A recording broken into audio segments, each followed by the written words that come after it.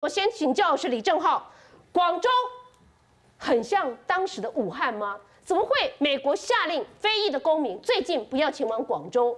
那广州又发生什么事情呢？我们看到奈及利亚的官员痛骂痛骂中国的官员种族歧视。来，广州出了什么问题？是小菊姐，我们今天要狠狠的来打脸谭德赛。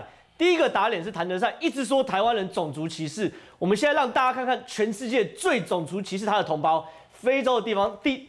的的国家在就在中国的广州，中国广州有大量的黑人在中国广州工作，他们工作的原因不是偷偷拐抢抢骗的，他们不是没有正常工作，他们从广州买大量的衣服做贸易到非洲，换句话说，有大量的非洲黑人在广州促进所谓的当地的经济，结果呢，我们来看下面画面。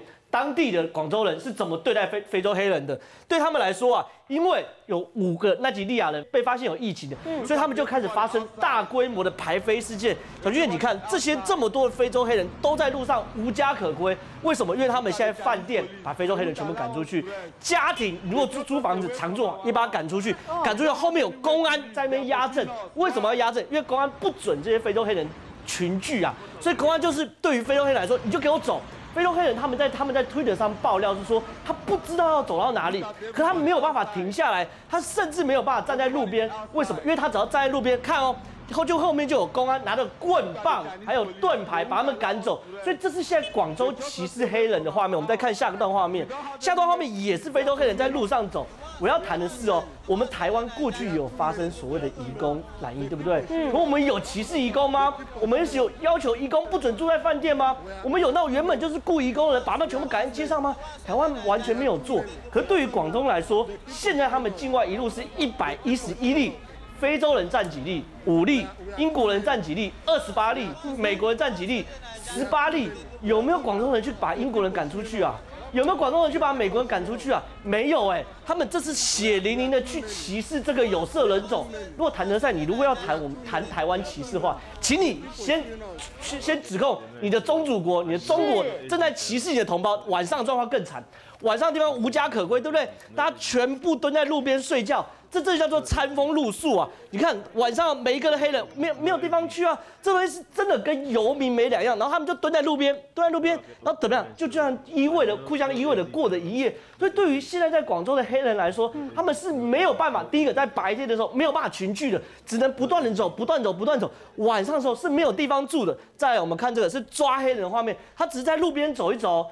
走一走就被公安抓起来，为什么？因为公安怀疑。你看他后面还有个地同胞是怎么样被压制在地上的？这个黑人只是被怀疑说你可能是有所谓的病，所以那广东黑人就去压他，就是在地上，地上这边呢，我们看还有一个同胞被压在这边，这边被压在这边，所以整件事情他对他们来说对待黑人是非常非常不人道，甚至哦他们想要吃个饭，比如去吃饭，麦当劳都不准。我们看下画，这是麦当劳画面，他这边写一个不准黑人。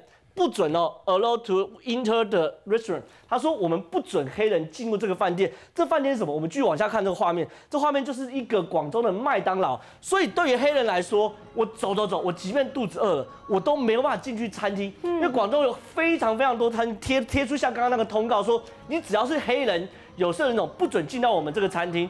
再来了，对于广对对于非洲黑人来说，我当然非常生气。我们看下个画面，你看甚至有黑人的护照。直接被中国防疫人员收走，而且是没收。根据国际法，没有任何一个国家的执法单位可以去没收黑人的护照。可这件事情也在中国血淋淋发生了。我们看下个画面，下个画面是奈及利亚的国会议长，这国会议长他生气了，他马上把那中国驻奈及利亚的大使叫过来，叫到办公室，而且痛骂。他说：“你们怎么可以这样歧视我们国家的人？甚至我们看到画面，你看他在看这个画面的时候，你看这个中国人多卑躬屈膝，这个大使多卑躬屈膝。